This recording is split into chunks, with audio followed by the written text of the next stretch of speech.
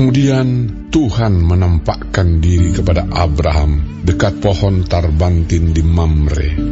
Sedang ia duduk di pintu kemahnya waktu hari panas terik. Ketika ia mengangkat mukanya, ia melihat tiga orang berdiri di depannya. Sesudah dilihatnya mereka, ia berlari dari pintu kemahnya menyongsong mereka. Lalu sujudlah ia sampai ke tanah, serta berkata, Tuanku, jika aku telah mendapat kasih Tuanku, janganlah kiranya lampaui hambamu ini. Biarlah diambil air sedikit, basuhlah kakimu, dan duduklah beristirahat di bawah pohon ini. Biarlah ku ambil sepotong roti, supaya Tuhan-Tuhan segar kembali. Kemudian, bolehlah Tuhan-Tuhan meneruskan perjalanannya. Sebab Tuhan-Tuhan telah datang ke tempat hambamu ini. Jawab mereka, Perbuatlah seperti yang kau katakan itu. Lalu Abraham segera pergi ke kemah mendapatkan Sarah serta berkata, Segeralah, ambil tiga suka tepung yang terbaik, remaslah itu dan buatlah roti bundar. Lalu berlarilah Abraham kepada lembu sapinya. Ia mengambil seekor anak lembu yang empuk dan baik dagingnya dan memberikannya kepada seorang bujangnya. Lalu orang ini segera mengolahnya. Kemudian diambilnya dadih dan susu serta anak lembu yang telah diolah itu, lalu dihidangkannya di depan orang-orang itu. Dan ia berdiri di dekat mereka di bawah pohon itu, sedang mereka makan. Lalu kata mereka kepadanya, Di manakah Sarah, istrimu? Jawabnya, Di sana, di dalam kemah. Dan firmannya, Sesungguhnya aku akan kembali tahun depan mendapatkan engkau. Pada waktu itulah, Sarah istrimu akan mempunyai seorang anak laki-laki. Dan Sarah mendengarkan pada pintu kemah yang di belakangnya. Adapun Abraham dan Sarah telah tua dan lanjut umurnya, dan Sarah telah mati haid. Jadi tertawalah Sarah dalam hatinya, katanya, Akan berakhir ke aku setelah aku sudah layu, sedangkan tuanku sudah tua. Lalu berfirmanlah Tuhan kepada Abraham, Mengapakah Sarah tertawa dan berkata, Sungguhkah aku akan melahirkan anak, sedangkan aku telah tua? Adakah sesuatu apa pun yang mustahil untuk Tuhan?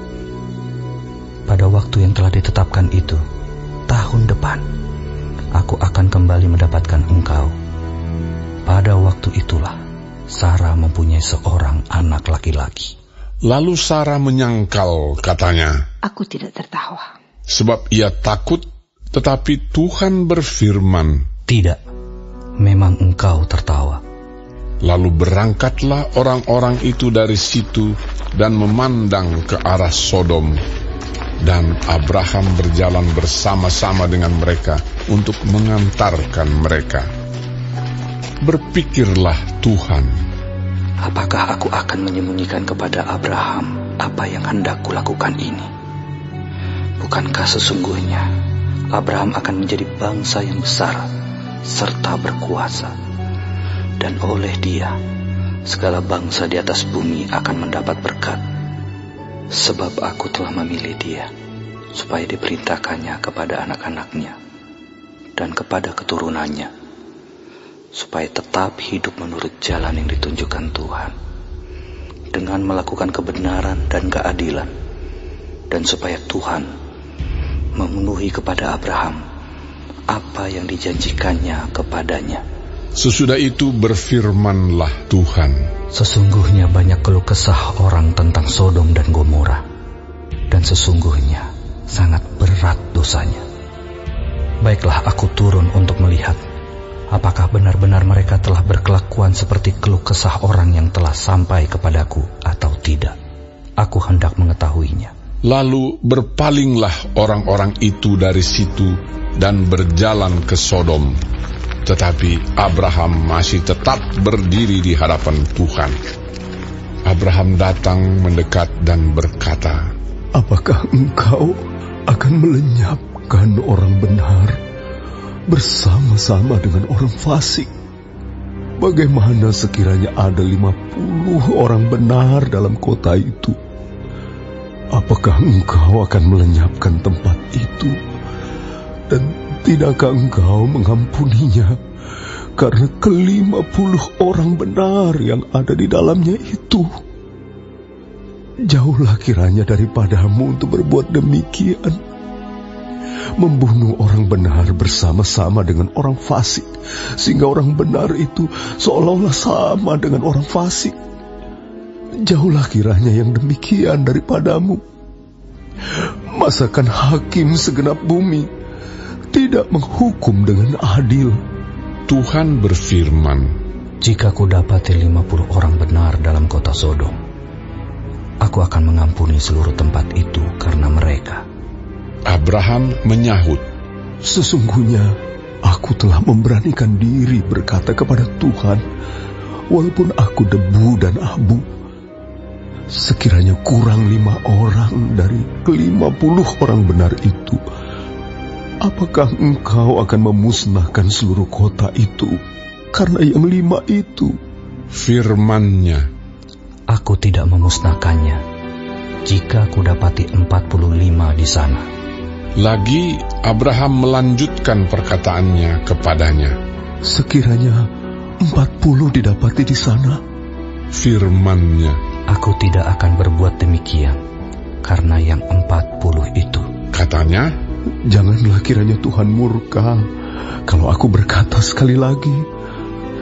Sekiranya tiga puluh didapati di sana, firmannya, Aku tidak akan berbuat demikian jika ku dapati tiga puluh di sana. katanya, Sesungguhnya aku telah memberanikan diri berkata kepada Tuhan, sekiranya dua puluh didapati di sana, firmannya, Aku tidak akan memusnahkannya karena yang dua puluh itu. katanya, janganlah kiranya Tuhan murka kalau aku berkata lagi sekali ini saja. Sekiranya sepuluh didapati di sana, firmannya, Aku tidak akan memusnahkannya karena yang sepuluh itu. Lalu pergilah Tuhan setelah ia selesai berfirman kepada Abraham, dan kembalilah Abraham ke tempat tinggalnya.